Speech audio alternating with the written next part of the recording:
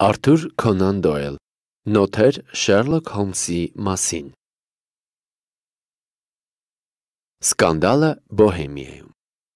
Գլուխ առաջին Շերլոք Հոլմսի համար նա ընդմիշտ մնաց իբրև այդ կինը։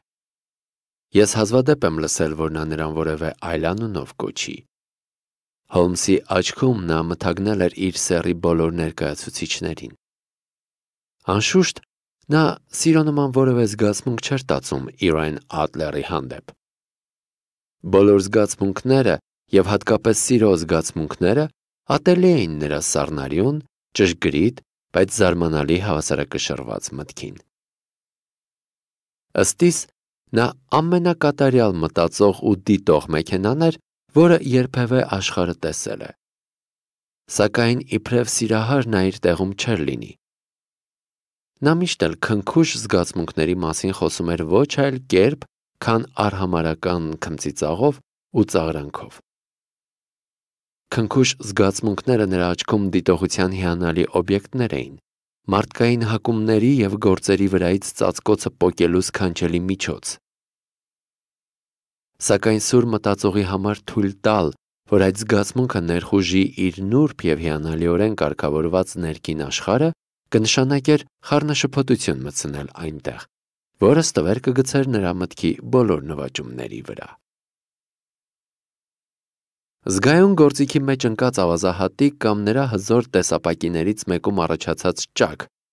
Ահա թե ինչ կլիներ սերը Հոլմսի նման մարդու համար։ Բայց եւ այնպես Նրա աչքում գոյություն ուներ մի կին։ Եվ այդ կինը հանգուցյալ Իրեն Ադլերն էր, հույժ կասկածելի վարքիտ էր մի անznավորություն։ Վերջին ժամանակներս ես հազվադեպ էի տեսնվում Հոլմսի հետ։ Իմ ամուսնությունը մեզ հեռացրեց իրարից։ Իմ անձնական անամպ երջանկությունը եւ զուտ ընտանեկան շահերը, որոնք առաջ են գալիս, երբ մարդ առաջին անգամ դառնում է սեփական օջախի տերը, Այս ամենը բավական էր, որպեսի կլաներ իմ ողջ ուշադրությունը։ Միջդեռ Հոլմսը, որ իր գնչուական հոգով ատում էր աշխարհիկ կյանքի ամեն մի ձև, շարունակում էր ապրել Baker Street-ի մեր բնակարանում, շրջապատված իր հին գրքերի կույտերով, կոկայինով տարվելու շապատները հերթագայելով փարամոլության նոպայով, նարկոմանի քնքոտ դրությունը վայրի էներգիայով, որը հատուկ էր նրա բնավորությանը։ Ինչպես եւ առաջ, նա խորապես զբաղված էր հանցագործությունների հետազոտությամբ։ Նա իր հսկայական ընդունակությունները եւ դիտողականության արտասովոր ձիրքը տրամադրում էր այն գաղտնիքները པարզող թելերի որոնման, որոնք պաշտոնական ոստիկանության կողմից ճանաչվել էին անվերցանելի։ Ժամանակ առ ժամանակ իմ ականջին աղոտ լուրեր էին հասնում նրա գործերի մասին։ Նրանք անցել էին Օդեսա Տրեպովի սպանության կապակցությամբ։ Նրան հաջողվել է լույս սփռել Ատկինսոն եղբայրների հանելուկային ողբերգության վրա Տրինկոմալիում եւ վերջապես հոլանդական կայսերական տան հանձնարարության մասին, որը նա կատարել է բացառիկ նրբությամբ ու հաջողությամբ։ Սակայն, բացի նրա գործունեությանը վերաբերող այս տեղեկություններից, որ ես, ինչպես եւ բոլոր ընթերցողները, թերթերից էի քաղել, ուրիշ շատ քիչ բան գիտեի իմ նախկին բարեկամի ու ընկերոջ մասին։ Մի անգամ գիշերը, դա 1888 թվականի մարտի 29 էր, ես վերադառնում էի մի պացիենտի մոտից, քանի որ այժմ ես նորից զբաղվում էի մասնավոր պրակտիկայով, եւ ճամփաս ինձ բերեց Baker Street։ Երբ անցնում էի ինձ լավ ծանոթ դրան մոտով, որն իմ մտքում ընդմիշտ կապված է նշանվելուց ժամանակվա եւ բոսորագույն հետքի մռայլ իրադարձությունների հիշողության հետ, ինձ համակեց մի սուր ցանկություն նորից տեսնել Հոլմսին եւ իմանալ, թե այժմ ինչ խնդիրների վրա է աշխատում նրա հիանալի միտքը։ Պատուհանները պայծառ լուսավորված էին եւ նայելով վերև ես նկատեցի նրա բարձր նիհարավուն կերպարանքը, որը երկու անգամ մութ ուրվանկարով անցավ իջեցրած վարակույրի վրայով։ Նա արագ սրընթաց քայլում էր սենյակում, գլուխը ցած խոնարած, ձեռքերը մեջքին։ Հոմսի անկյունից անկյուն քայլելը եւ ողջ արտաքին կերպարանքը շատ բաների մասին էին վկայում։ Ես լավ գիտեի նրա բոլոր տրամադրություններն ու սովորությունները։ Նա նորից գործի էր անցել, իր վրայից թոթափելով նարկոտիկների բերած մշուշոտ անուրջները եւ այժմ ինչ որ նոր հանելուկի թելերն էր արձակում։ Ես զանգահարեցի եւ ինձ առաջնորդեցին սենյակ, որը մի ժամանակ մասամբ նաեւ իմն էր։ Նա ինձ դիմավորեց առանց խանդավառ զեղումների։ Հոլմսը խիստ հազվադեպ էր անznատուր լինում նման զեղումների, բայց ինձ թվաց, որ ուրախ եմ գալուն։ Համարյա առանց խոսքերի ձերքի սիրալիր շարժումով հravirեց նստելու։ Սիգարների տուփը մոտեցրեց ինձ եւ ցույց տվեց ճամփորդական արկղիկը, ուր պահվում էր գինին։ Ապա նա կանգնեց բուխարիկի առաջ եւ զննեց ինձ իր յուրահատուկ թափանցող հայացքով։ Ընտանեկան կյանքը ձեզ վրա գալիս է, նկատեց նա։ Կարծում եմ, Ուոտսոն, որ վերջին անգամ ձեզ տեսնելուց հետո դուք ավելացել եք 7.5 ֆունտով։ Միայն 7 ֆունտ։ Իսկապես։ Ոչ, ոչ, մի քիչ ավելի։ Մի փոքր ավելի, հավատացնում եմ ձեզ։ Եվ ինչպես տեսնում եմ, նորից աշխատում եք։ Դուք ինձ չէիք ասել, որ պատրաստվում եք գործի լծվելու։ Հապա որտեղից իմացաք։ Ես այդ տեսնում եմ, հետևություններ եմ անում։ Օրինակ, որտեղից գիտեմ, որ դուք վերջերս խիստ թրջվել եք եւ որ ձեր աղախինը փնթիի մեկն է։ Թանկագին Հոլմս, ասացի ես։ Այդ արդեն չափից դուրս է։ Ձեզ անկասկած խարույկի վրա կայրեին, եթե դուք ապրեիք մի քանի դար առաջ։ Այդ ճիշտ է, որ 5 շաբթի օրը ես եղել եմ քաղաքից դուրս եւ տուն եմ վերադարձել ամբողջովին ցեխոտված, բայց ախր կոստյումս փոխել եմ, այնպես որ անձրևից ոչ մի հետք չի մնացել։ Ինչ վերաբերում է Մերի Ջենին, ապա նա իրոք որ անուղելի է եւ կինս արդեն նախազգուշացրել է, որ ուզում է ազատել նրան, բայց եւ այնպես չեմ հասկանում, թե դուք ինչպես գլխի ընկաք այդ մասին։ Հոմսը կամացուկ ծիծաղեց ու շփեց իր երկար ջղային ձեռքերը։ Շատ հասարակ, ասաց նա։ Իմ աչքերը հայտնում են ինձ, որ ձեր ձախ գոշիկի ներսի կողմից, այնտեղ, ուր հիմա լույս է ընկած, կաշու վրա երևում են 6 համարյա զուգահեռ քերծվածքներ։ Պարզ է քերծվածքներն արել է ինչ-որ մեկը, որը խիստ ամփույթ կերպով սրբել է ներփանի եզրերը, որպեսի ցեխը մաքրի։ Այստեղից, ինչպես տեսնում եք, ես անում եմ կրկնակի եզրակացություն։ Առաջին, որ դուք դուրս եք եկել վատ եղանակի եւ երկրորդ, որ ձեզ բաժին է ընկել լոնդոնյան ծառայի ամենավատ մի նմուշ։ Իսկ ինչ վերաբերում է ձեր պրակտիկային, ապա եթե իմ սենյակն է մտնում մի ջենտլմեն, որից յոդոֆորմի հոտ է գալիս, եթե նրա աջ ձեռքի ցուցամատին ազոտաթթվից առաջացած սև բիծ կա, իսկ ցիլինդրի վրա մեծ ելունդ, որը ցույց է տալիս թե նա որտեղ է պահել իր լսափողը, Ես պետք է կատարյալ հիմար լինեմ, որպեսզի չճանաչեմ բժշկական աշխարհի գործունյա ներկայացուցչին։ Ես չկարողացա ծիծաղս զսպել, լսելով թե նա ինչպեսի հեշտությամբ է բացատրում իր եզրահանգումների ուղին։ Երբ դուք բաց եք անում ձեր խորհրդածությունները, նկատեցի ես, ամեն ինչ ծիծաղելիորեն հասարակ է թվում։ Ես ինքս էլ առանց դժվարության կարող էի գլխի ընկնել։ Բայց ամեն մի նոր դեպքում ես բոլորովին շշմած եմ մնում, քանի դեռ դուք չեք բացատրել ձեր մտքերի ընթացքը։ Միանգամայն ճիշտ է, պատասխանեց Հոլմսը ծխախոտ վառելով եւ մեկնվելով բասկաթոռի մեջ։ Դուք նայում եք, բայց չեք զննում, իսկ դրանց միջև տարբերությունը շատ մեծ է։ Օրինակ, դուք հաճախ եք տեսել նախասենյակից այստեղ բերող աստիճանները։ Հաճախ։ Որքան հաճախ։ Դե մի քանի հարյուր անգամ։ Շատ լավ։ Քանի աստիճան կա այնտեղ։ Քանի Ուշադրություն չեմ դարձրել։ Այ տեսնում եք, ուշադրություն չեք դարձրել, մինչդեռ տեսել եք։ Այս է ամբողջ բանի էությունը։ Դե իսկ ես գիտեմ, որ աստիճանները 17-ն են, որովհետև եւ տեսել եմ, եւ դիտել։ Իդեպ, կարծեմ դուք հետաքրքրվում եք այն ոչ մեծ խնդիրներով, որոնց լուծմամբ զբաղվելն իմ արհեստն է։ Դուք նույնիսկ բարեհաճել եք իմ փոքրիկ փորձերից 2-3-ը նկարագրել, ուստի թերևս ձեզ հետաքրքրի է հա այս նամակը։ Նա ինձ նետեց փոստային վարդագույն հաստ թղթի մի թերթիկ, որն ընկած էր սեղանի վրա։ Հենց նոր է ստացվել, ասաց նա։ Կարդացեք բարձրաձայն։ Նամակն անթվակիր էր, անստորագիր ու առանց հասցեի։ Այսօր երեկոյան 8-ից քարորդ պակաս, ասված էր երկտողում։ Ձեզ մոտ կգա մի ջենթլմեն, որն ուզում է մի խիստ կարևոր գործի արդիվ խորհուրդ հարցնել ձեզանից։ Վերջերս Եվրոպայի թագավորական տներից մեկին ձեր մատուցած ծառայությունները ցույց տվին, որ ձեզ կարելի է վստահել արտակարգ կարևորություն ունեցող գործեր։ Այդպիսի գնահատական մենք ամեն տեղից ստացել ենք ձեր մասին։ Այդ ժամին եղեք տանը եւ ոչ մի վատ բան մի մտածեք, եթե ձեր այցելուն դիմակով ներկայանա։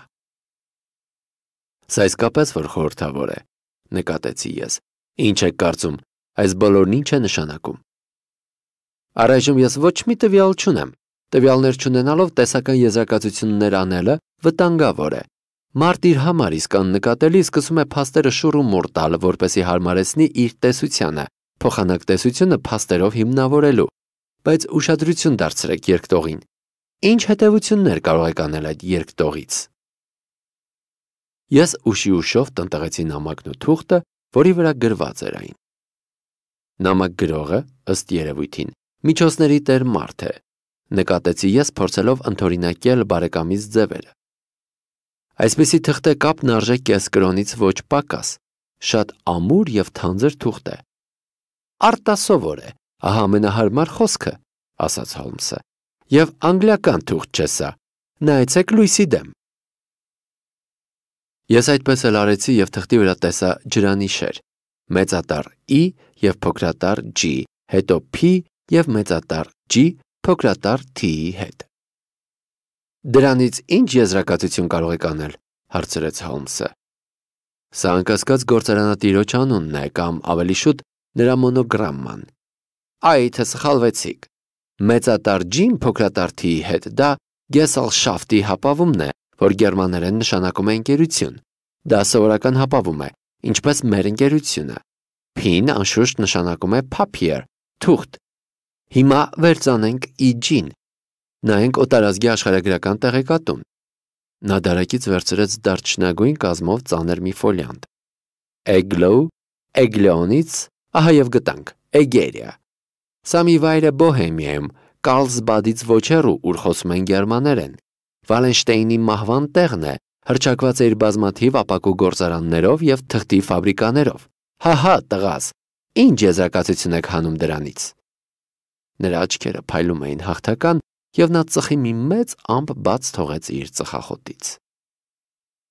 Թուղթը պատրաստված է Բոհեմիայում, ասացի ես։ Հենց այդ է որ կա։ Իսկ նամակը գրողը գերմանացի է։ Նկատում եք այդ ֆրազի տարօրինակ կառուցվածքը։ Այդպիսի գնահատական մենք ամեն տեղից ստացել ենք ձեր մասին։ Ֆրանսիացին կամ ռուսը չէին կարող այսպես գրել։ Միայն գերմանացիք են այսպես առանց ձևականությունների վարվում իրենց բայերի հետ։ Հետևաբար մնում է միայն իմանալ, թե ինչ է հարկավոր այդ գերմանացուն, որը գրում է բոհեմական թղթի վրա ու գերադասում է դիմակ գրել, միայն թե իր դեմքը ցույց չտա։ Ահա եւ նա ինքը, եթե չեմ սխալվում։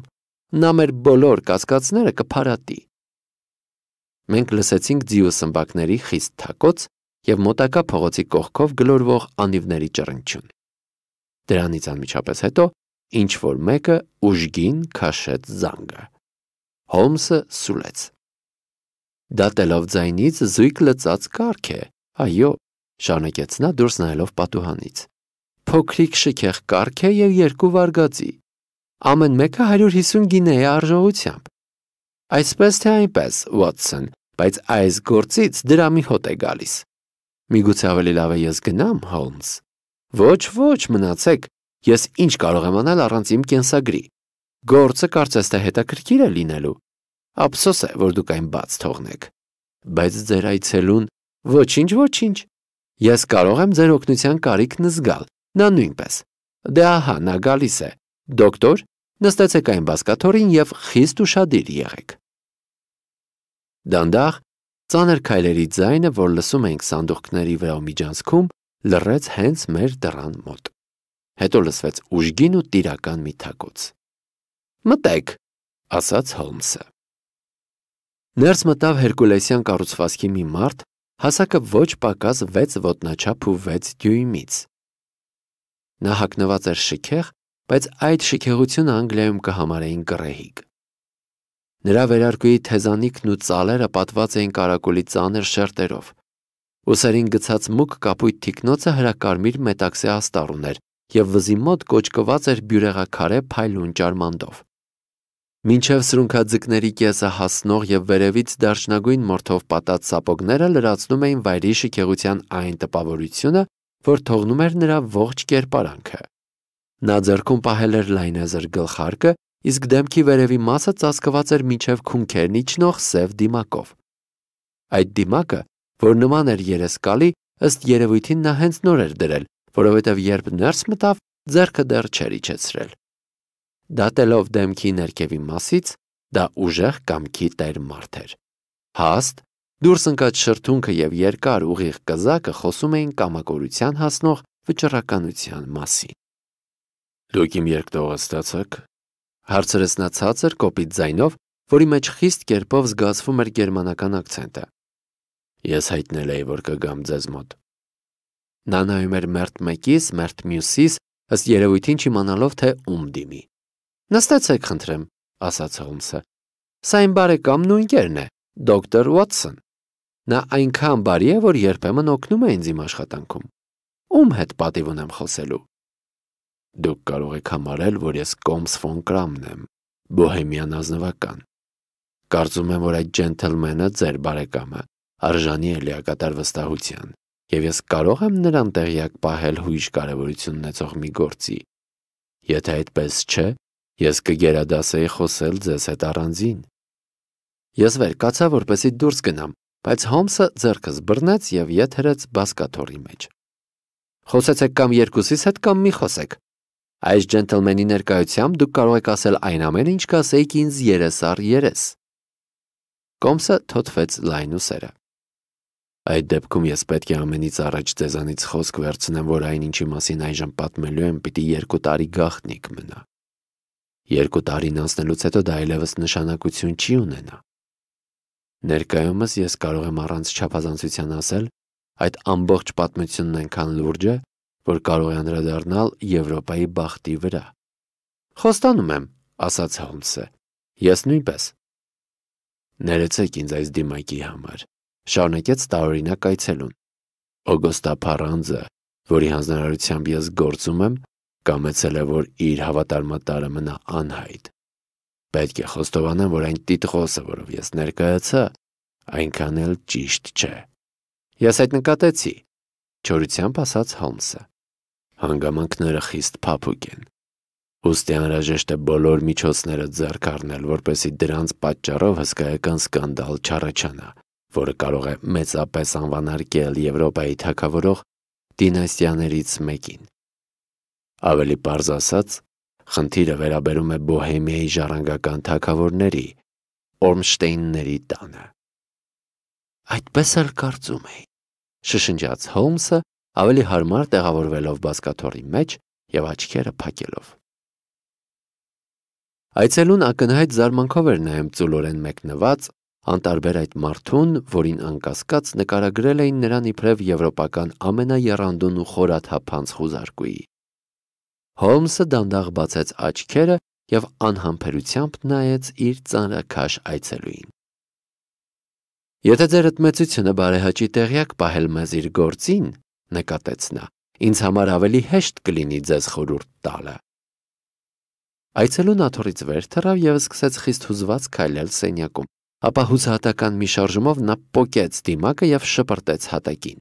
Դուք իրավացի եք, բացականչեց նա։ Ես թակավոր եմ, Ինչու աշխատեմ թաքցնել այդ։ Իրոք, ինչու։ Ձերդ մեծությունը դեռ խոսել չէր սկսել, իսկ ես արդեն գիտեի, որ իմ առաջ կանգնած է Կասել Ֆելշտեյնյան մեծ իշխան եւ Բոհեմիայի ժառանգական թակավոր Վիլհելմ Գոտստրեյխ Սիգիզմունդ ֆոն Օրմշտեյնը։ Բայց դուք հասկանում եք, ասաց մեր տարօրինակ այցելուն, նորից նստելով եւ ձեռքով շոյելով սպիտակ բարձր ճակատը։ Դուք հասկանում եք, որ ես սովոր չեմ անձամ զբաղվելու այսպիսի գործերով։ Սակայն հարցն այնքան փափուկ է, որ ես դա չէի կարող վստահել ոստիկանական գործակալներից որևէ մեկին առանց նրա իշխանությանը ենթարկվելու վտանգի։ Ես Պրագայից գաղտնի եկել եմ հատկապես ձեզանից խորհուրդ հարցնելու համար։ Խնդրեմ, հարցրեք, ասաց Հոլմսը նորից աչքերը փակելով։ Փաստերը համառոտակի սրանք են։ Մի 5 տարի առաջ տևական ժամանակով Վարշավայում եղածս միջոցին Ես ծանոթացա լավ հայտնի արկածախնդրուհի Իրեն Ադլերի հետ։ Այդ անունը անշուշտ ծանոթ է ձեզ։ Բարի եղեք, դոկտոր, նայեցեք իմ քարտակալը։ Մրտմրթաց Հոլմսը առանց աչքերը բանալու։ Շատ տարիներ առաջ նա մցրել էր մարդկանց եւ իրերին վերաբերող զանազան փաստեր արցանագրելու մի համակարգ, այնպես որ դժվար էր գտնել այնպիսի մի անձ կամ իր, որոնց մասին նա չկարողանար անմիջապես տեղեկություններ տալ։ Այս դեպքում ես Իրեն Ադլերի կենսագրությունը գտա հրեական ռաբբիի եւ խորաջուր ձկների մասին աշխատություն գրած մի շտաբի պետի կենսագրությունների միջև։ Ցույց տվեք, հապա, ասաց Հոլմսը։ Հմ, ծնվել է 1858 թվականին Նյու Ջերսիում, Կոնտրալտո։ Հմ, Լա Սկալա։ Այսպես, այսպես։ Վարշավայի կայսերական օպերայի պրիմադոննա։ Այդպես, թողել է օպերային բեմը։ Հահա, ապրում է Լոնդոնում։ Մի անգամ այն ճիշտ է։ Որքան ես հասկանում եմ, ձերդ մեծությունն ընկել է այդ երիտասարդ կնոջ ցանցը, գրել անվանարկող նամակներ եւ այժմ կուզենար յետ ստանալ այդ նամակները։ Մի անգամ այն ճիշտ է, սակայն ինչպես։ Դուք գախտնի ամուսնացել եք նրա հետ։ Ոչ։ Ոչ մի փաստաթուղթ կամ վկայություն։ Ոչ մի։ Այդ դեպքում ես ձեզ չեմ հասկանում։ Ձերդ մեծություն։ Եթե այդ երիտասարդ կինն ուզենա նամակներն օգտագործել շանտաժի կամ այլ նպատակների համար, ինչպես կարող է դրանց իսկությունն ապացուցել։ Իմ ձեռագիրը դատարկ բան, կեղծիք է։ Իմ անձնական փոստային թուղթը գողացված է։ Իմ անձնական կնիքը կեղծ է։ Իմ լուսանկարը գնված է։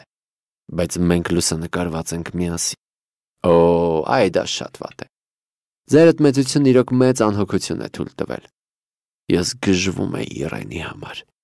Դուք լրջորեն ավանարկել եք ձեզ։ Այն ժամանակ ես ընդամենը թագաժառանգ էի, ջահել։ Ես այժմ էլ միայն 30 տարեկան եմ։ Ինչ կերպ ուզում է լինի, լուսանկարը պետք է վերադարձնել։ Փորձել ենք, բայց չի հաջողվել։ Ձերդ մեծությունը պետք է ծախքեր անի, լուսանկարն անհրաժեշտ է յետ գնել։ Իրենը չի կամենում վաճառել այն։ Այդ դեպքում պետք է գողանալ։ 5 փորձ արված է արդեն։ Ես երկու անգամ վարձել եմ դուր ջարդող գողեր, որոնք տակնուվրային արել նրա տունը։ Մեկ անգամ, երբ նա ճամփորդում էր, մենք խուզարկել ենք նրա ծանրոցները։ Երկու անգամ նրան գցել ենք ծուղակի մեջ, սակայն ոչ մի արդյունքի չենք հասել։ Ոչ մի։ Բացարձակապես ոչ մի։ Հոլմսը ծիծաղեց։ Այնքան էլ վատ խնդիր չէ, ասաց նա։ Բայց ինձ համար դա չափազանց լուրջ խնդիր է հանդիմանությամբ առարկեց թակավորը։ Այո, իսկապես որ։ Իսկ նա ինչ է մտադիր անել։ Գործանել ինձ։ Բայց ինչպես։ Ես պատրաստվում եմ ամուսնանալ։ Այդ մասին ես լսել եմ։ Սկանդինավիայի թակավորի երկրորդ դստեր Կլոտիլդա Լոտման ֆոն Սաքսեն Մենինգենի հետ։ Թերևս դուք ծանոթ եք այդ ընտանիքի խիստ սկզբունքներին։ Ինքը Կլոտիլդան մարմնացյալ մակրություն է։ Իմ անցյալի վերաբերյալ կասկածի ամենաչնչին ստվերն իսկ կհասցներ խզման։ Իսկ Իրեն Ադլերը նա սպառնում է լուսանկարն ուղարկել հարսնացուից ծնողներին եւ կուղարկի, անպայման կուղարկի։ Դուք նրան չեք ճանաչում։ Նա երկաթե բնավորություն ունի։ Այո, այո, դեմքը հմայիչ կնոջ դեմք է, իսկ հոգին դաժան տղամարդու հոգի։ Նա ոչ մի բանի առաջ կանգ չի առնի, միայն թե թույլ չտա ինձ մեկ ուրիշի հետ ամուսնանալու։ Դուք համոզված եք, որ նա լուսանկարը դեռևս չի ուղարկել ձեր հարսնացուին։ Համոզված եմ։ Ինչու՞։ Նա ասել է, որ լուսանկարը կուղարկի իմ պաշտոնական նշանադրության օրը, իսկ դա լինելու է առաջիկա երկու շաբթի։ Օ, մենք դեռ 3 օր ժամանակ ունենք, ասաց Հոլմսը հորանջելով։ Եվ դա շատ հաճելի է, որովհետև ես այժմ պետք է զբաղվեմ որոշ անհրաժեշտ գործերով, Ձերդ մեծությունն անշուշտ առայժմ մնալու է Լոնդոնում։ Իհարկե, դուք ինձ կարող եք գտնել Langham հյուրանոցում Coms von Kram անունով։ Այդ դեպքում ես երկտող կուղարկեմ ձեզ հայտնելով, թե գործն ինչպես է առաջ գնում։ Շատ եմ խնդրում։ Ես այնպես եմ հուզվում։ Դե իսկ փողի հարցն ինչպես։ Ծախսեցեք, որքան անհրաժեշտ կհամարեք։ Գործողությունների լիակատար ազատություն է տրվում ձեզ։ Բացարձակ Օ, ես պատրաստ եմ այդ լուսանկարի դիմաց իմ թակավորության ուզածդ պրովինցիան տալ։ Իսկ ընթացիկ ծախքերի համար? Թակավորը թիկնոցի տակից հանեց կաշվի մի ծանր քսակ եւ դրեց սեղանի վրա։ Այստեղ 300 ֆունտ ոսկե դրամ կա, եւ 700 ֆունտ թղթադրամ, ասաց նա։ Հոլմսը ծոցատետրի թերթիկի վրա մի ստացական գրեց ու հանձնեց թակավորին։ Օրիորդի հասցեն, հարցրեց նա։ Բրայոնի լոջ, Սերպանտայն ավենյու, Սեթ Ջոնս Վուդ։ Հոլմսը գրեց։ Եվս մի հարց, ասաց նա։ Լուսանկարը կաբինետային չափսի է։ Այո, կաբինետային։ Իսկ այժմ բարի գիշեր, ձերդ մեծություն։ Հուսով եմ, որ շուտով մենք լավ լուրեր կունենանք։ Բարի գիշեր, Ուատսոն, ավելացրեց նա, երբ թակավորական կարգի անիվները դղրդացին փողոցի սալարկին։ Բարի եղեք վաղը ժամը 3-ին գալ ինձ մոտ։ Ես կուզենայի այս գործի մասին խոսել ձեզ հետ։ Գլուխ երկրորդ. Ճիշտ ժամը 3-ին ես Baker Street-ում էի, բայց Holmes-ը դեռևս չէր վերադարձել։ Տնտեսուին հայտնեց, որ նա տնից դուրս է գնացել ժամը 9-ի սկզբին։ Նստեցի բուխարիկի մոտ, որոշելով սпасել նրան, որքան էլ հարկ լինի սпасելու։ Ես խորապես հետաքրքրված էի նրա հետաքննությամբ, չնայած դա չուներ տարօրինակ ու մռայլ գծեր, որոնք հատուկ էին իմ մի այլ տեղում պատմած երկու ոչրագործություններին։ Սակայն այս դեպքի յուրօրինակ առանձնահատկությունները եւ այցելուի բարձր դիրքը գործին տալիս էին անսովոր բնույթ։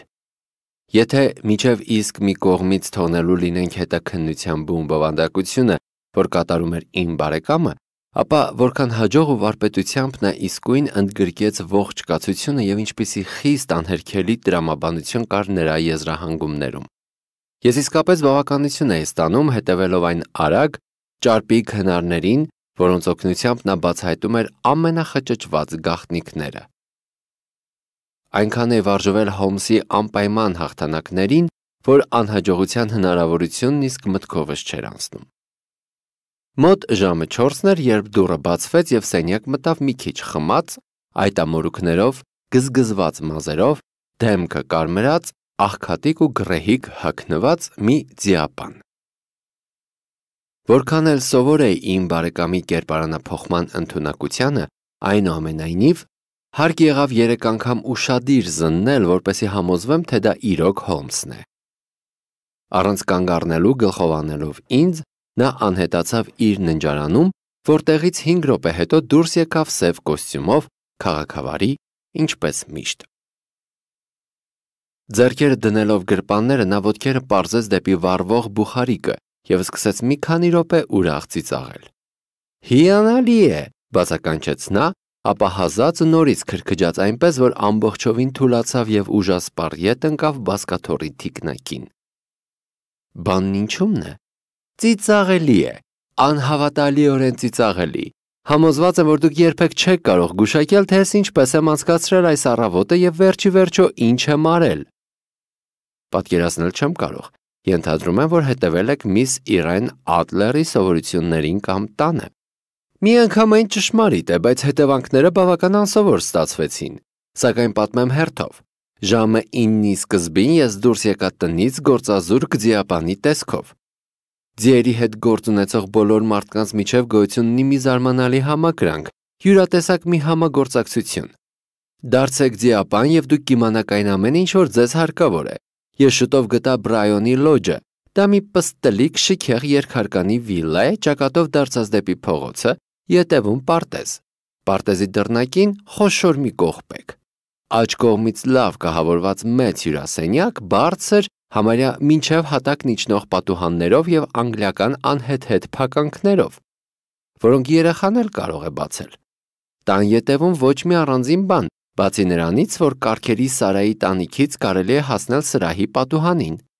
Ես պատտվեցի այդ Սարայի շուրջը եւ շատ ուրախadir զննեցի այն, բայց որևէ հետաքրքիր բան չգտա։ Հետո անցա փողոցի երկարությամբ եւ ինչպես որ սպասում էի, Պարտեզի պարսպին կպած ներփանցքում տեսա ախորը։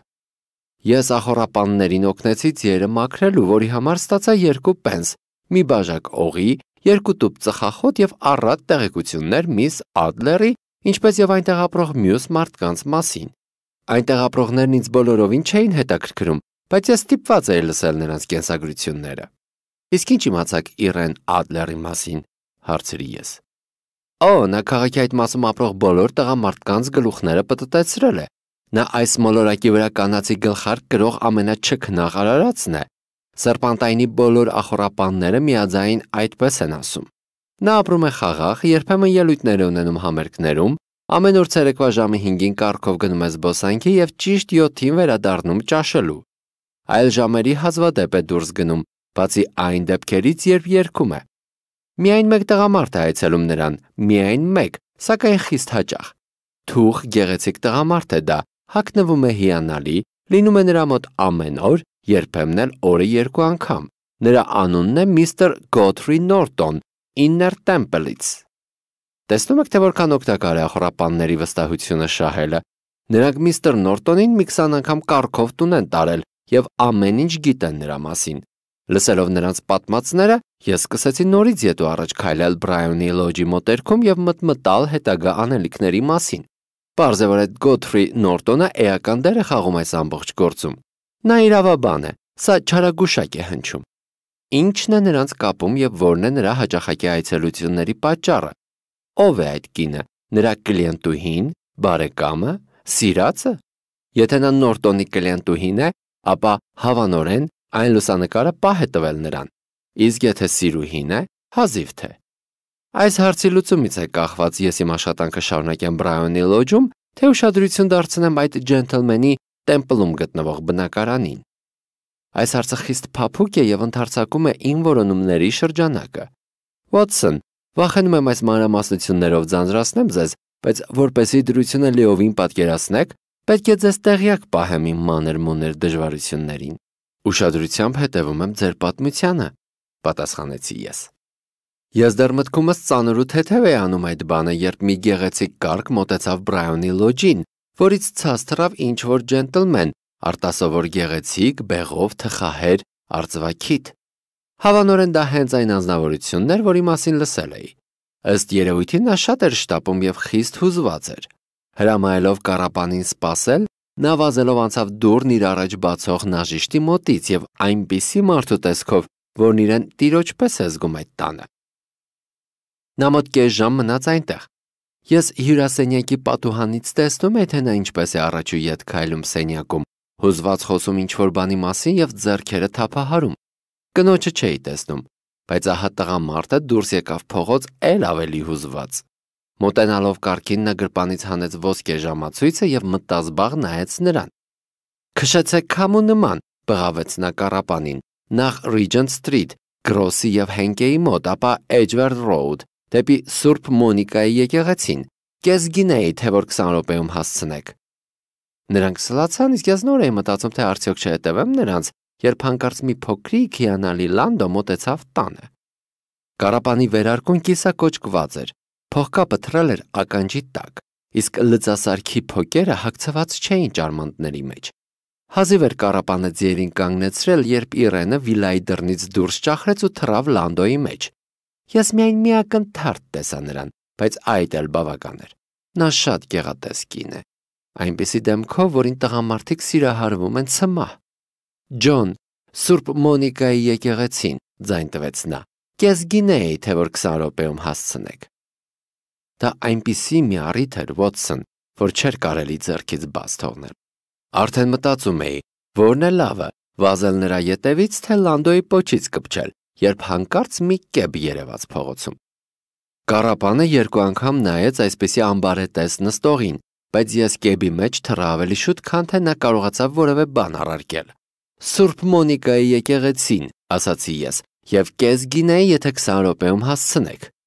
12-ից 25 էր պակաս եւ իհարկե դժվար չէր գուշակել, թե բանն ինչումն է։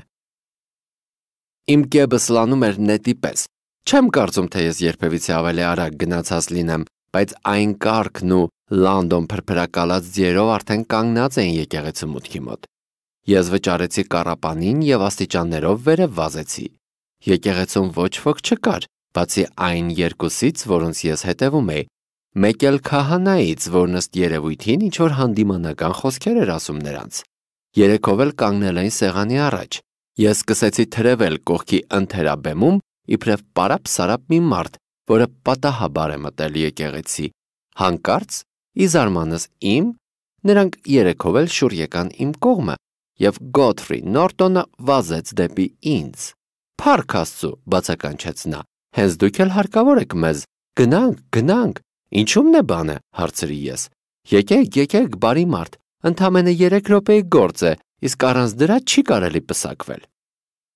Համարյա զորով ինձ քարշ տվին սեղանի մոտ, եւ ես դեռ ուշքի չէի եկել, երբ արդեն փնփնթում էի այն պատասխանները, որ շշնջում էին ականջիս, երթվում էի մի բանով, որ բոլորովին չգիտեի, եւ ընդհանրապես օգնեցի օրիորդ Իրեն Ադլերի ամուսնությանը ամուրի Գոթֆրի Նորտոնի հետ։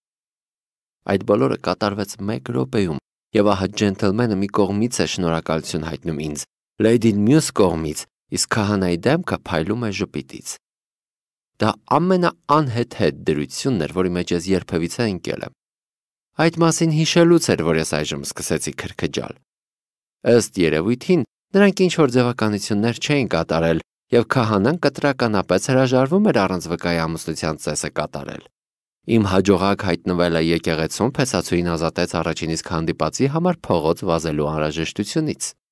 Հարսնացուն ինձ մի գինե ընծայեց եւ ես ուզում եմ ի հիշատակի մարկացի գրել այն ժամացույցիս շղթայի վրա։ Գործը միանգամայն անսպասելի բնույթ է ստանում, ասացի ես։ Իսկ հետո ինչ եղավ։ Դե ես հասկացա, որ իմ պլանները լուրջ վտանգի տակ են։ Կարծես թե երիտասարդ նորապսակները պատրաստվում էին անմիջապես մեկնելու, ուստի իմ կողմից պահանջվում էին արագ եւ երանդուն գործողություններ։ Սակայն եկեղեցու դռների մոտ նրանք բաժանվեցին։ Նորտոնը գնաց տեմպլ, իսկ Իրենը տուն։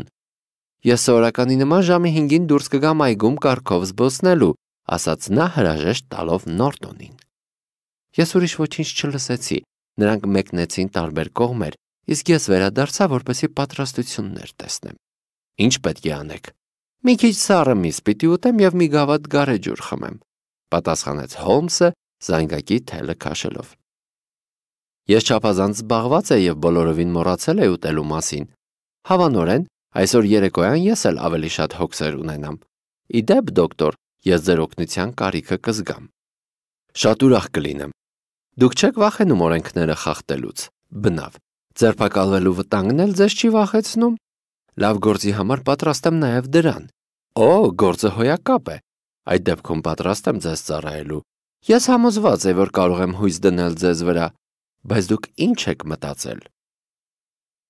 Երբ Միսիս Տերները ընթրիքը բերի, ես ամեն բան կբացատրեմ ձեզ։ Այժմ ասաց նա ագահորեն հարցակվելով մեր տնտեսուհու պատրաստած համեստ ուտելիքի վրա։ Ես պետք է ուտելիս ձեզ հետ քննարկեմ այդ ամբողջ գործը, որովհետև ժամանակը սուղ է։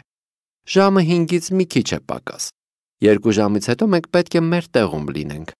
Միս Իրենը կամ ավելի շուտ Միսիս Իրենն իր զբոսանքից վերադառնում է ժամը 7-ին, Մենք պետք է Բրայոնի լոջի մոտ լինենք, որպեսի հանդիպենք նրան։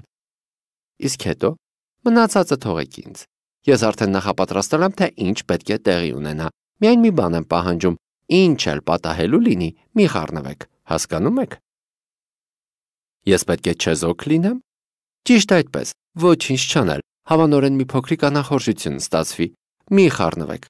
Կվերջանա նրանով, որ ինձ տուն կտանեն։ Մի 4 կամ 5 րոպե հետո բաց կանեն հյուրասենյակի պատուհանը։ Դուք պետք է աշխատեք կանգնել այդ բաց պատուհանի մոտ։ Լավ, պետք է հետևեք ինձ, որովհետև ես ձեր աչքից չեմ ծածկվի։ Լավ, եւ երբ ես ձեռքս բարձրացնեմ, այ այսպես, դուք սենյակ կշպրտեք այն, ինչ որ ես ձեզ կտամ այդ նպատակի համար, միաժամանակ բղավելով. հրդե։ Դուք ինձ հասկանում եք։ Լիովին։ Այստեղ ոչ մի վտանգավոր բան չկա ասաց նա գրպանից հանելով սիգարաձև մի փաթեթ։ Սա սովորական ծխահրթիռ է, երկու ծայրերին հրապատիչներ ամրացրած, որպեսի հրթիռն ինքն իրեն բռնկվի։ Ձեր ամբողջ աշխատանքը հանգում է դրան։ Երբ դուք բղավեք հրդեհ, բազմաթիվ մարդիկ նույնը կկրկնեն, որից հետո կարող եք հեռանալ փողոցի ծայրը, իսկ ես ձեզ կհասնեմ 10 րոպեից հետո։ Հուսով եմ հասկանալի է։ Ես պետք է չեզոք մնամ, մոտենամ պատուհանին, հետևեմ ձեզ եւ ձեր նշանով այս հրթիռը նետեմ պատուհանից ներս, հետո բղավեմ հրդեհի մասին եւ սպասեմ ձեզ փողոցի անկյունում։ Միանգամայն ճիշտ է։ Կարող եք վստահել ինձ։ Դե հիանալի է, թերևս ժամանակն է պատրաստվելու այն նոր դերին, որն այսօր ես պետք է խաղամ։ Նա մտավ ննջարան եւ մի քանի րոպեից հետո երևաց սիրալիր, պարզամիտ քահանայի տեսքով։ Աննման էին նրա լայնեզր, սև շլյապան, պարկանման տաբատը, սպիտակ փողկապը, գրավիչ ժպիտը եւ բարյացկամ հետաքրքրասիրության ընդհանուր արտահայտությունը։ Բանն այն չէր միայն, որ Հոլմսը կոստյումը փոխել էր։ Նրա դեմքի արտահայտությունը, ձևերը, միջև իսկ հոգին ասես փոխվում էին յուրաքանչյուր նոր դերի հետ, որ նա ստիպված էր խաղալ։ Իդեմս նրա բեմը կորցրեց մի հիանալի արտիստի, իսկ գիտությունը մի նուրբ մտածողի։ Տնից դուրս եկանք 6-ից քառորդ եւ երբ հասանք Սերպանտայն ավենյու, մինչև նշանակված ժամը մնում էր 10 րոպե։ Արդեն մտնում էր։ Փողոցում նոր-նոր լապտերները վառվեցին եւ մենք սկսեցինք յետ ու առաջ քայլել Բրայոնի լոջի կողքով, սպասելով նրա բնակիչների վերադարձին։ Տունը ճիշտ այնպեսին էր, ինչպես որ պատկերացնում է Շերլոկ Հոլմսի համառոտ նկարագրությունից, սակայն վայրը բոլորովին էլ այնպես ամայի չէր, ինչպես սպասում էի։ Ընթակառակը Քաղաքի ծայրամասի այդ փոքրիկ խաղաղ փողոցը տառացիորեն վխտում էր մարդկանցով։ Մի անկյունում ծխում ու ծիծաղում էին ինչ-որ քրչոտ մարդիկ։ Հենց այդտեղ էլ կանգնած էին մի դանակ սրող իր սարքով, երկու գվարդիական, որոնք ֆլիրտում էին մի դայակի հետ, եւ մի քանի երիտասարդներ, որոնք սիգարները բերաններին յետ ու առաջ էին քայլում։ Բանն այն է, նկատեց Հոլմսը, երբ մենք շրջում էինք տան առաջ, որ այս ամուսնությունը զգալիորեն པարզում է ամբողջ գործը Այժմ լուսանկարը դառնում է երկսայրի սուր։ Թերևս Իրենը նույնպես չի ուզենա, որպեսի միստր Գոթֆրի Նորտոնը լուսանկարը տեսնի, ինչպես մեր այցելուն չի ուզում, որպեսի դա իր իշխանուհու աչքին ընկնի։ Այժմ խնդիրն այն է, թե որտեղ գտնենք լուսանկարը։ Իսկապես, որտեղ։ Բոլորովին անհավանական է, որ Իրենը իր մոտ պահի այն։ Կաբինետային չափսի լուսանկարը շատ է մեծ եւ հնարավոր չէ կանացի շորի տակ թաքցնել։ Իրենը գիտե, որ թակավորն ընդունակ է ծուղակի մեջ քաշելու իրեն եւ խուզարկելու։ Երկու այդպիսի փորձ արդեն արվել է։ Նշանակում է կարող ենք համոզված լինել, որ նա լուսանկարն իր մոտ չի պահում։ Հապա որտեղ է պահում։ Իր բանկիրի կամ իրավաբանի մոտ։ Հնարավոր է եւ մեկը եւ մյուսը։ Բայց ես երկուսի մեջ էլ կասկածում եմ։ Կանայք իրենց բնույթով հակամետ են խորհրդավորության եւ սիրում են գաղտնիքներով շրջապատել իրենց։ Ինչու նա պետք է մեկ ուրիշին հաղորդակից դարձնի իր գաղտնիքին։ Նա կարող էր վստահել իրեր թաքցնելու իր սեփական ընդունակությանը, բայց հազիվ թե վստահ լիներ, որ գործողության մարդը, եթե նրան տեղյակ պահեր իր գաղտնիքին, կկարողանար դիմադրել քաղաքական կամ որևէ այլ կարգի ազդեցության։ Բացի դրանից հիշեցեք, որ նա որոշել էր լուսանկարն օգտագործել առաջիկա օրերին։ Դրա համար անհրաժեշտ է այն ձեռքի տակ պահել, Լուսանկարը պետք է որ նրա սեփական տանը լինի։ Բայց վարձու գողերը երկու անգամ տակնու վրա են արել նրա տունը։ Դա տարգ բան։ Նրանք չեն իմացել թե ինչպես պետք է փնտրել։ Իսկ դուք ինչպես պիտի փնտրեք։ Ես չեմ փնտրի։ Հապա ինչպես։ Այնպես կանեմ, որ Իրանն ինքը լուսանկարը ցույց կտա ինձ։ Նա կհրաժարվի։ Բանն էլ հենց այն է, որ այդ նրան չի հաջողվի։ Բայց ես անիվների ձայն եմ լսում։ Սա նրա կարգն է, Հիմա ճշտությամբ կատարեցեք իմ ցուցմունքները։ Այդ րոպեին փողոցի ոլորանում երևաց կարքի կողքի լապտերների լույսը եւ փոքրիկ շքեղ Լանդոն մոտեցավ Բրայոնի լոջի դռներին։ Երբ կարքը կանգ առավ, անկյունում խմբված շրջմոլիկներից մեկը առաջ նետվեց մի պղնձադրան վաստակելու հույսով դռնակները բանալու, բայց նույն նպատակով մոտեցած մի ուրիշ շրջմոլիկ հրեց նրան։ Կատաղի կռիվ սկսեց շրջմոլիկներից մեկի կողմանցած երկու գվարդիականները եւ դանակ սրողը, որը նույնպիսի երանդով պաշտպանում էր մյուսին, կրակի վրա յուղ էին ածում։ Կարքից իջնելով լեյդին միակնթարթում ընկավ տակացած գզվրտվող մարդկանց խառնակույտի մեջ, որոնք կատաղորեն թակում էին իրար բռունցքներով ու փայտերով։ Հոլմսը նետվեց ամբողի մեջ, որպեսի լեդիին պաշտպանի, սակայն մոտենալով նրան, նա հանկարծ ճչաց ու ցած ընկավ արնոտված դեմքով։ Երբ Հոլմսը ընկավ, զինվորները փախան մի կողմ, քրչոտները մյուս։ Մի քանի անցորդներ, որոնք ավելի կարքին տեսք ունեին եւ չէին մասնակցել դուրը դմփոցին, վազելով մոտեցան, որպեսի պաշտպանեն Լեդիին եւ վիրավորին օգնություն ցույց տան։ Իրեն Ադլերը, որին ես առաջվա պես այդպես եմ անվանելու, աստիճաններով վերև վազեց, բայց կանգ առավ հարթակի վրա եւ սկսեց նայել դեպի փողոցը։ Լուսավորված հյուրասենյակի ֆոնի վրա գծագրվել էր նրա հոյակապ ֆիգուրան։ Այդ խեղճ ջենտլմենը ծանր է վիրավորված, հարցրեց նա։ Նա մեռել է, պատասխանեցին մի քանի ձայն։ Ոչ, ոչ, նա դեռևս ողջ է, բղավեց ինչ որ մեկը, բայց նա կմեռնի ավելի շուտ, քան դուք հիվանդանոց կհասցնեք նրան։ Այ քեզ համարցակ մարդ, ասաց ինչ որ կին։ Եթե սա չլիներ, նրանք Լեյդիի դրամակսակն էլ ժամացույցն էլ կխլեին։ Գողերի մի ամբողջ խումբ էր հավաքվել եւ այն էլ խիստ վտանգավոր գողերի։ Ահա, ահա, սկսեց շնչել։ Սրան չի կարելի փողոցում թողնել։ Տիկին թույլ կտակ սենյակ փոխադրել։ Իհարկե, տարեք հյուրասենյակ, այնտեղ հարմար բազմոց կա, այստեղ բերեք, խնդրեմ։ Հոլմսին կամացուկ ու հանդիսավորությամբ ներս տարան Բրայոնի լոջ եւ պարկեցրին հյուրասենյակում, մինչդեռ ես շարունակում էի պատուանի մոտի իմ պոստից հետևել այդ անցուդարձին։ Լամպերը վառվում էին, սակայն վարակույրներն իջեցրած չէին, այնպես որ ես կարող էի տեսնել Հոմսին, որը պարկած էր բազմոցի վրա։ Նրա խիղճը տանջում էր իրեն այդպիսի դեր խաղալու համար, թե ոչ, չգիտեմ, բայց ես կյանքումս երբեք ավելի խոր ամոթ չէի զգացել, քան այն րոպեներին, երբ այդ ճկնաղ կինը, որի դեմ ուղված դավադրությանը ես եւս մասնակցում էի, այդպիսի քնքշանքով ու բարությամբ հոգ էր տանում վիրավորին։ Բայց եւ այնպես դավաճանություն կլիներ, եթե ես չկատարեի Հոլմսի հանձնարարությունները։ Ծանր սրտով վերարկուի ստակից հանեցի ծխահրթիռը։ Վերջի վերջո, մտածեցի ես, մենք նրան վնաս չենք պատճառում, միայն խանգարում ենք, որ նա ուրիշին չվնասի։ Հոմսը կիսաբարձրացավ բազմոցի վրա եւ ես նկատեցի, որ նա կատարում է այնպիսի շարժումներ, ասես շնչասպառ է լինում։ Աղախինը նետվեց դեպի պատուհանը եւ լայն բացարավ այն։ Նույն վարքյանին Հոմսը ձեռքը վեր բարձրացրեց։ Ես հրթիռը նետեցի սենյակ ու բղավեցի. «Հրդե, Հազիվ էր այդ խոսքն իմ բերանից դուրս եկել, երբ ողջ բազմությունը կրկնեց այն։ Լավ եւ վատ հագնված ջենտլմեններ, ախորապաններ ու աղախիններ, բոլորը բղավում էին միաձայն. «Հրդե!» Ծխի թանձր ամպերը գալարվում էին սենյակում եւ դուրս հորդում բաց պատուհանից։ Ես տեսա, թե ինչպես այնտեղ ներսում մարդիկ դեսուդեն էին վազվզում։ Մի փոքր հետո լսվեց Հոլմսի ձայնը, որը հավատացնում էր, թե դա կեղծ տագնապ է։ Ամբողի միջից ճանապարհ բացելով ես հասա փողոցի անկյունը։ Հուրախություն իմ մի 10 րոպեից հետո Հոմսը հասավ ինձ, թևանցուկ արավ եւ մենք հեռացանք բուրըն իրադարձությունների վայրից։ Որոշ ժամանակ նա քայլում էր արագ եւ ոչ մի խոսք չարտասանեց, մինչև որ մենք թեքվեցինք Edgewer Road տանող խաղաղ փողոցներից մեկը։ Դուք այդ բանը շատ ճարպկորեն արեցիք, դոկտոր, նկատեց Հոլմսը, Ավելի լավ չէր էլ կարելի պատկերացնել։ Ամեն բան կարքին է։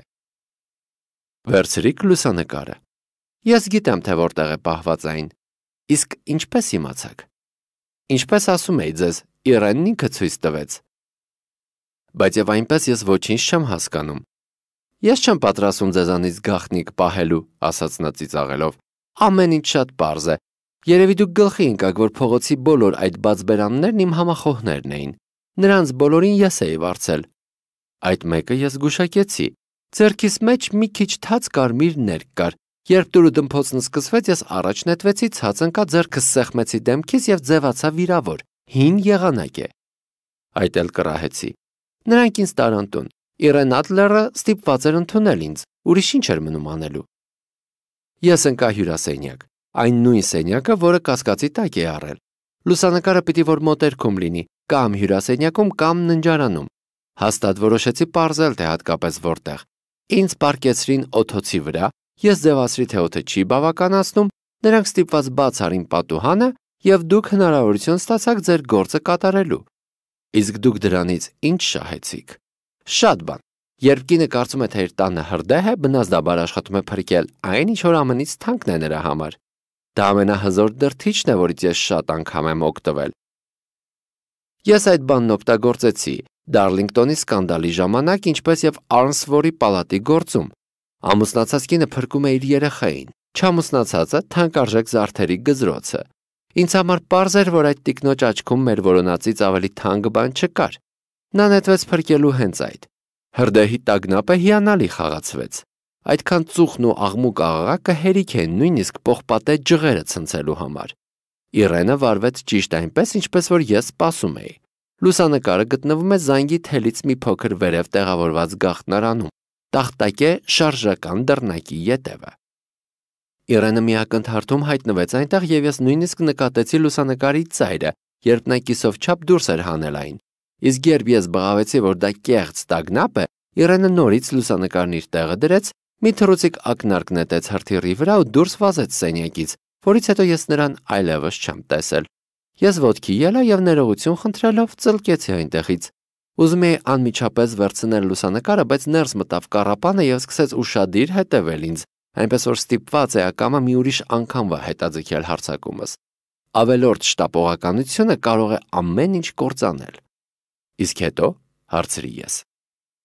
Իրականում մեր որոնումները վերջացած են։ Վաղը ես կգնամ Իրեն Ադլերի մոտ թակավորի եւ ձեզ հետ, եթե դուք կամենաք մեզ ուղեկցել։ Մեզ կխնդրեն սпасել հյուրասենյակում, բայց շատ հավանական է, որ Տիկինը սենյակ մտնելով չի գտնի ոչ մեզ, ոչ լուսանկարը թերևս նորին մեծությանը հաճելի կլինի սեփական ձեռքերով հանել լուսանկարը։ Իսկ երբ է գնալու այնտեղ։ Առավոտյան ժամ 8-ին Իրենը դեռևս անկողնում կլինի, այնպես որ մենք գործողության լիակատար ազատություն ունենք։ Բացի դրանից պետք է գործել արագ, որովհետև ամուսնությունը կարող է լիովին փոխել նրա կենցաղն ու սովորությունները։ Ես պետք է անմիջապես հեռագրեմ թակավորին։ Մենք հասանք Baker Street եւ կանգ առանք մեր տան դռների մոտ։ Հոմսը բանալին էր փնտրում գրպաններում, երբ ինչ որ անցորդ ասաց. Բարի գիշեր, միստր Շերլոկ Հոլմս։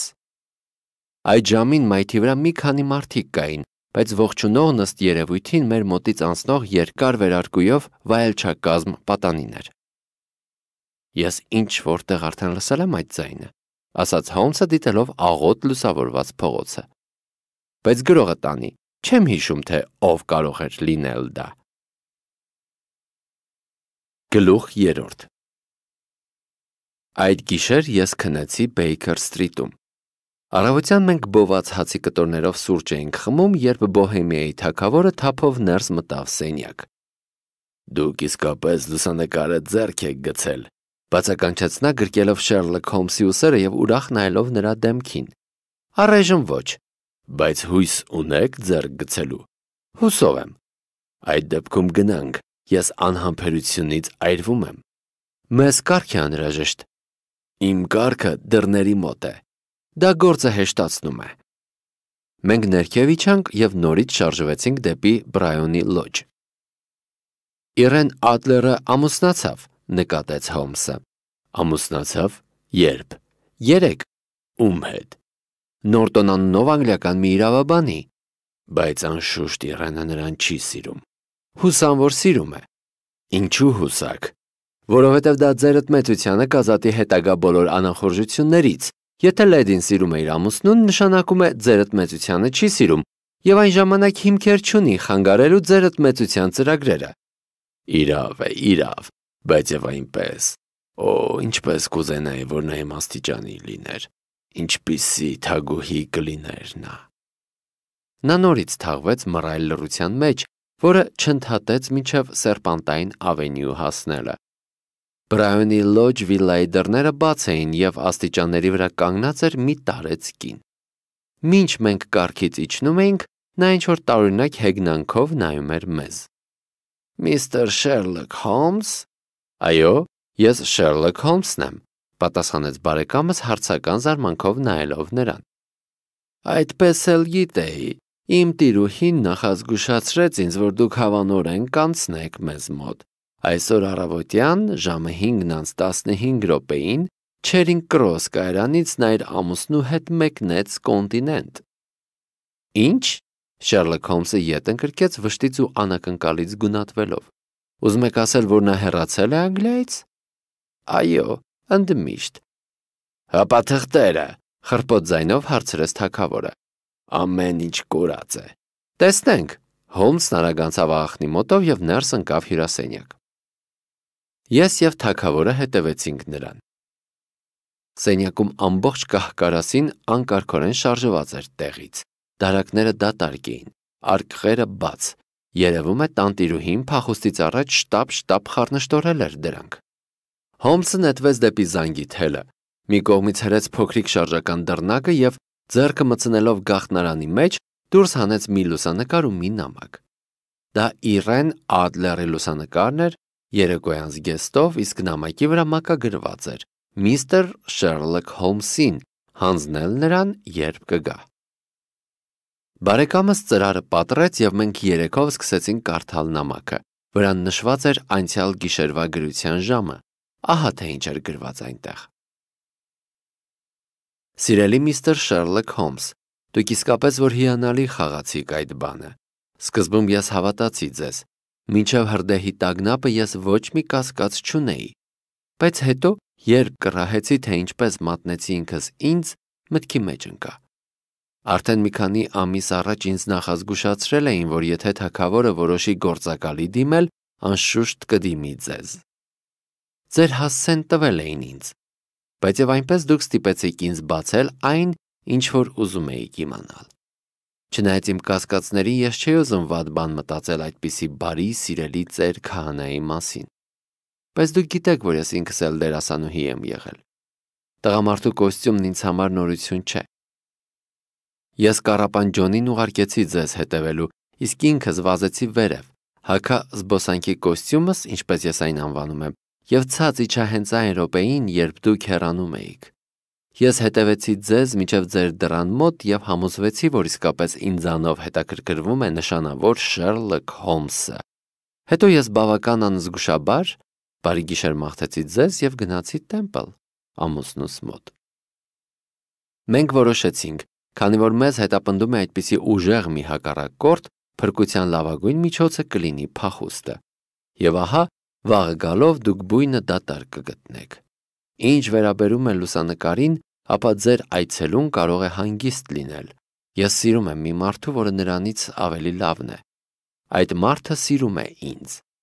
Թագավորը կարող է անել այն ամենը, ինչ որ ուզում է առանց վախենալու այն կնոջ հարուցելիք արգելքներից, որին նա այդքան ցավ է պատճառել։ Լուսանկարը ես կպահեմ ինձ մոտ իմ անվտանգության համար։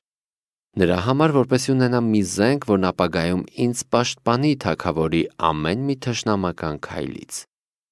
Ես այստեղ թողնում եմ մի այլ լուսանկար, որը երևի հաճելի կլինի նրան պահել իր մոտ։ Մնամ, սիրելի միստր Շերլոկ Հոլմս, ձեր անձնվեր Իրեն Նորտոն, ծնված Ադլեր։ Ինչ կին է, օ, ինչ կին է, բացականչեց Բոհեմիայի թակավորը, երբ երեքով էլ կարդացել էինք այդ նամակը։ Միթե չէի ասում ձեզ, որ նա հնարամիտ է, խելոք ու նախաձեռնող։ Միթե նա սքանչելի թագուհի չէր լինի։ Միթե ցավալի չէ, որ նա միևնույն աստիճանի չէ ինձ հետ։ Որքան ես այդ կնոջը ճանաչեցի, թվում է թե իրոք որ նա բոլորովին այլ աստիճանի մարդ է, քան ձերդ մեծությունը, սառնությամբ ասաց Հոլմսը։ Ցավում եմ, որ չկարողացա ձերդ մեծության գործը ավելի հաջող վախճանի հասցնել։